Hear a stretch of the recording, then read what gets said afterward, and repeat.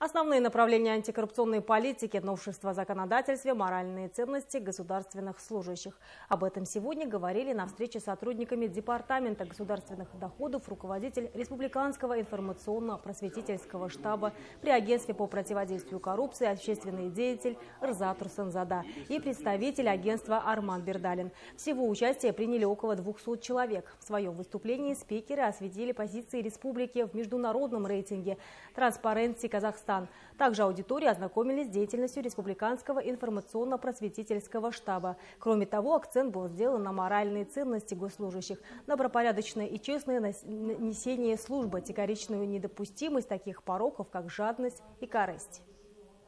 У нас с 12 числа находится с рабочим визитом представители информационно-просветительского штаба при агентстве по противодействию коррупции Республики Казахстан, а также официальные представители агентства самого.